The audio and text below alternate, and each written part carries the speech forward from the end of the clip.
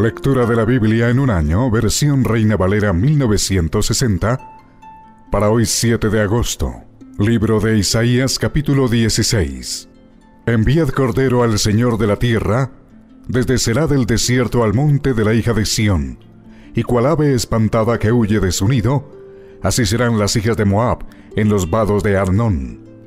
Reúne consejo, haz juicio, pon tu sombra en medio del día como la noche, esconde a los desterrados, no entregues a los que andan errantes.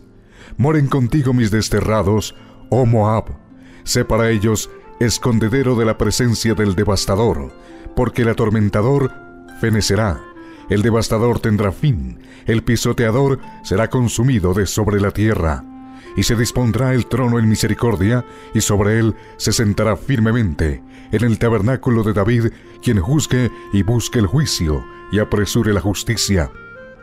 Hemos oído la soberbia de Moab, muy grandes son su soberbia, su arrogancia y su altivez, pero sus mentiras no serán firmes.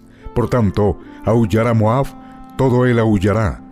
Gemiréis en gran manera abatidos por las tortas de uvas de Kir Areset, porque los campos de Esbón fueron talados y las vides de Sibma. Señores de naciones pisotearon sus generosos sarmientos, habían llegado hasta Hazer y se habían extendido por el desierto, se extendieron sus plantas, pasaron el mar, por lo cual lamentaré con lloro de Hazer por la viña de Simba, te regaré con mis lágrimas, oh Esbón y Eleale, porque sobre tus cosechas y sobre su siega caerá el grito de guerra. Quitado es el gozo y la alegría del campo fértil, en las viñas no cantarán ni se regocijarán, no pisará vino en los lagares el pisador, he hecho cesar el grito del lagarero. Por tanto, mis entrañas vibrarán como arpa por Moab y mi corazón por Kir Areset. Y cuando apareciere Moab, cansado sobre los lugares altos, cuando venga a su santuario a orar, no le valdrá. Esta es la palabra que pronunció Jehová sobre Moab desde aquel tiempo. Pero ahora Jehová ha hablado diciendo, Dentro de tres años, como los años de un jornalero, será batida la gloria de Moab, con toda su gran multitud, y los sobrevivientes serán pocos, pequeños y débiles. Isaías capítulo 17 Profecía sobre Damasco. He aquí que Damasco dejará de ser ciudad y será montón de ruinas. Las ciudades de Aroer están desamparadas, en majadas se convertirán, dormirán allí y no habrá quien los espante. Y cesará el socorro de Efraín y el reino de Damasco, y lo que quede de Siria será como la gloria de los hijos de Israel, dice Jehová de los ejércitos. En aquel tiempo la gloria de Jacob se atenuará, y se enflaquecerá la grosura de su carne, y será como cuando el segador recoge la mies, y con su brazo ciega las espigas.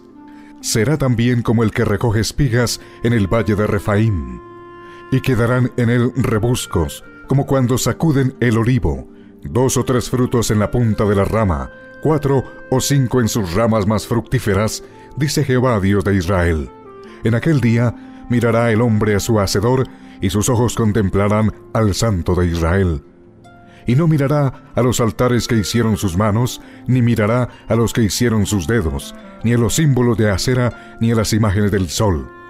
En aquel día sus ciudades fortificadas serán como los frutos que quedan en los renuevos y en las ramas, los cuales fueron dejados a causa de los hijos de Israel, y habrá desolación.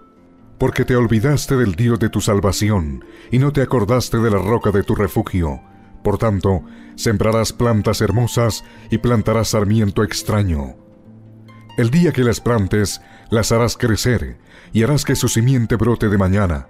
Pero la cosecha será arrebatada en el día de la angustia y del dolor desesperado. Hay multitud de muchos pueblos que harán ruido como estruendo del mar, y murmullo de naciones que harán alboroto como bramido de muchas aguas. Los pueblos harán estrépito como de ruido de muchas aguas, pero Dios los reprenderá y huirán lejos. Serán ahuyentados como el tamo de los montes delante del viento y como el polvo delante del torbellino. Al tiempo de la tarde, he aquí la turbación, pero antes de la mañana el enemigo ya no existe. Esta es la parte de los que nos aplastan y la suerte de los que nos saquean. Isaías capítulo 18 Profecía sobre Etiopía Hay de la tierra que hace sombra con las alas, que está tras los ríos de Etiopía, que envía mensajeros por el mar y en naves de junco sobre las aguas.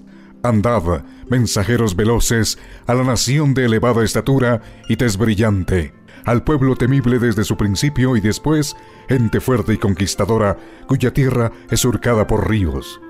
Vosotros, todos los moradores del mundo y habitantes de la tierra, cuando se levante bandera en los montes, mirad, y cuando se toque trompeta, escuchad, porque Jehová me dijo así, me estaré quieto, y los miraré desde mi morada, como sol claro después de la lluvia, como nube de rocío en el calor de la siega.